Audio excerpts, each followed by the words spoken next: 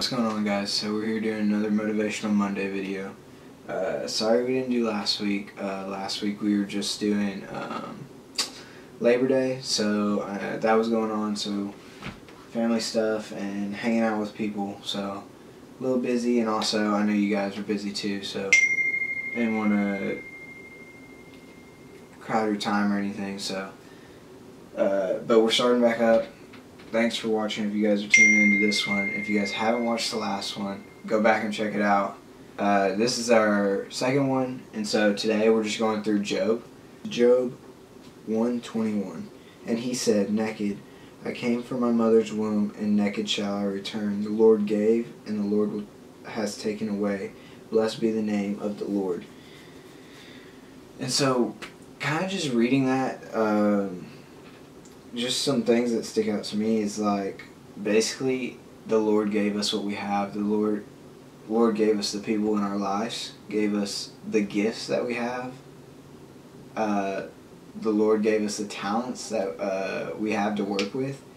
And so uh, just realizing that and uh, some things say like uh, just things that we have in our life uh, such as TV, sports, video games, your girlfriend, your your wife, things things like that that God's given you as gifts, um, we we hold higher up than Him, and so think, thinking about that is like, well, the own Creator that created us, we're not even showing enough praise or glory to over the things He gave us.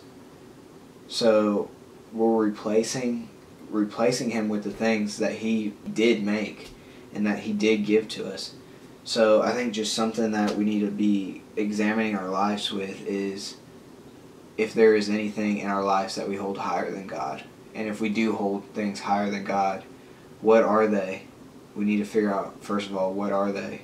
Second of all, we need to figure out how can we be able to control um, maybe that that gift, say if it is material, how can we control it to where we don't overuse it and uh, be able to use it to glorify God? Um, that's a big thing with talents nowadays is that you see sport sporting people uh, use their talents and the, they'll use it to glorify themselves and get praise from other people uh, when they can use it uh, to show glory. Uh, and I think Tim Tebow does a good job of doing that he's a good person to look up to uh, when you're doing trying to strive to be a Christian doing sports.